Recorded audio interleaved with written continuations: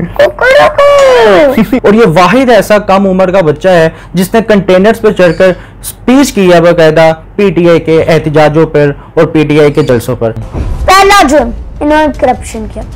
दूसरा जुर्म, इन्होंने खाया और तीसरा जुर्म, इनकी पार्टी मेंबर मरियम नवाज़ शरीफ साहिबा, उन्हें कोर्ट की सजा मिली। था क्योंकि जब मैं पहली बार कंटेनर पे गया था तब मैंने अपनी पहली स्पीच की। झगड़ा मज़ा आया कि भाई, मैं, मैंने वुल माइक लिया हुआ है तो खान साहब के आदमी होता।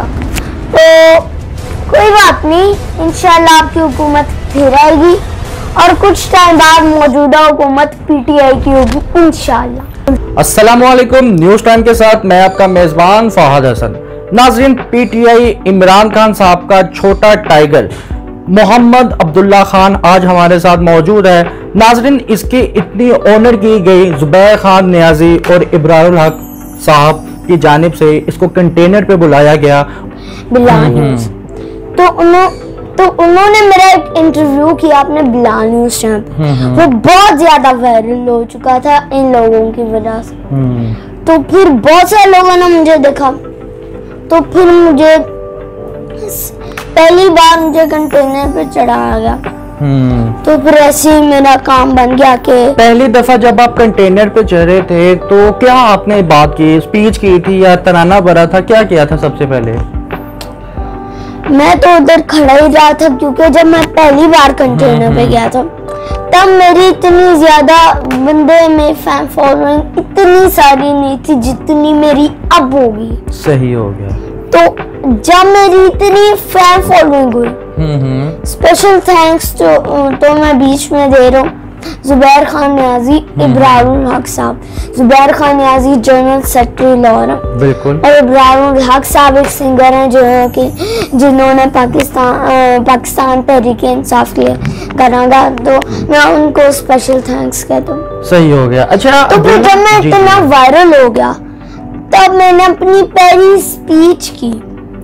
मज़ा आया कि भाई मैं मैंने वुल माइक लिया हुआ है जो अगर ये अभी जलसा होता तो खान साहब के आदमी होता। अच्छा। फिर मुझे शौक चढ़ गया मैंने शुरू कर दिया। तो अब जब भी जलसा होता है लिबर्टी चौक में तो मैं ज़रूर तकरीर होती है मेरी सिर्फ़ लिबर्टी चौक। अच्छा अब्दुल्ला बताना कि पहली दफ़ा जब आप कंटेनर पे चढ़े थे और आपकी स्पीच हुई है जो आपने तकरीर की थी वो तकरीर तैयार करके गए थे कि वहाँ खड़े खड़े आपने तकरीर पहली दफ़ा मैं कंटेनर पे जब गया था उस नहीं नहीं पहली दफ़ा जब तकरीर की आपने। अच्छा। सो उस वक्त मैंने मैंने खुद की।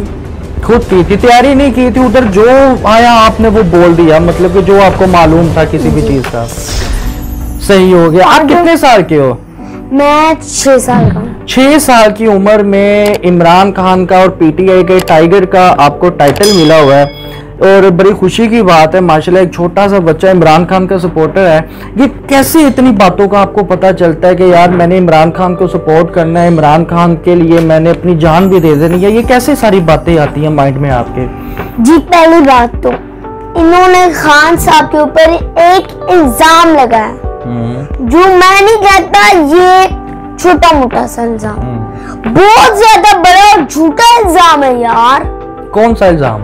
वो इल्ज़ाम ये है कि इमरान खान ने अपने प्रॉमिस अगर उसे प्रॉमिस पूरे करने का टाइम मिलेगा तब करेगा ना। बिल्कुल। तुम लोगों को हमने टाइम दे दिया हम्म। ठीक है? और तुम उस हुकूमत में हम्म। उस हुकूमत में तुम लोगों ने कुछ किया ही नहीं है। हमें तुम्हें फालतू बनना टाइम दिया हमारा टाइम फालतू का सही हो गया। अच्छा वैसे मुझे एक बात तो बताओ अब्दुल्ला के बड़े बड़े उम्र में लोग चले जाते हैं मगर उनको सियासत की इतनी इन्फॉर्मेशन नहीं होती। आपको कितनी की इन्फॉर्मेशन है सियासत की? और ये दिलचस्पी आपके अंदर कैसे पैदा हुई?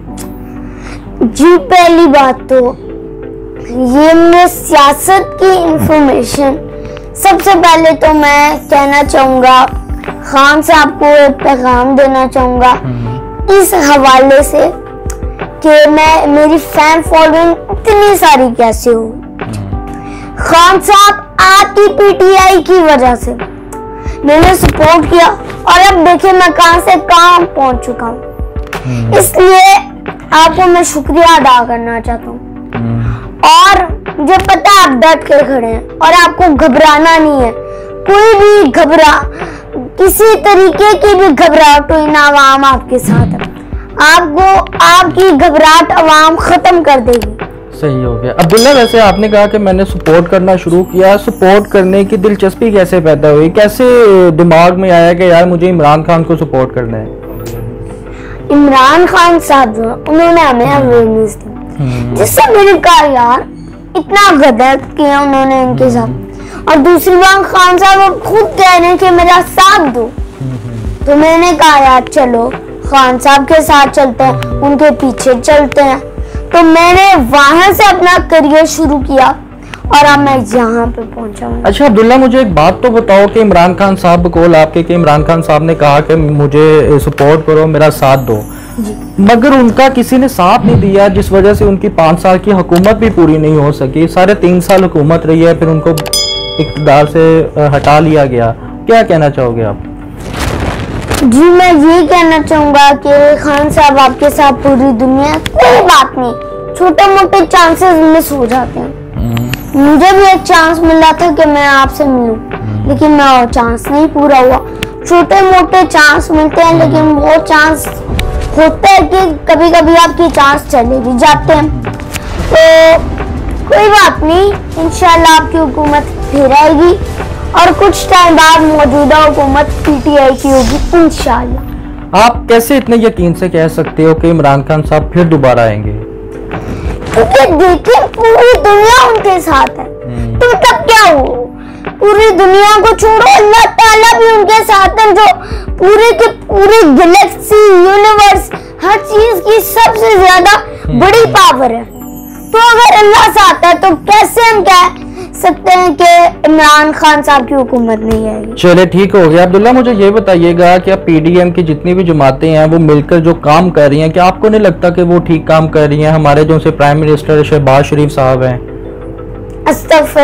ये तो बात ही ना करें। ठीक का नाम ही ना लें पीडीएम के साथ ठीक लगाना ही चाहिए कभी भी। अच्छा हमजा शहबाज शरीफ को तीन दफ़ा सीएम बनाया गया और तीनों दफ़ा सीएम के ओहदे से हटा लिया गया। क्या उसके साइज़ की शेरवानी नहीं मिलती जो बार बार उसे उतरवा ली जाती है?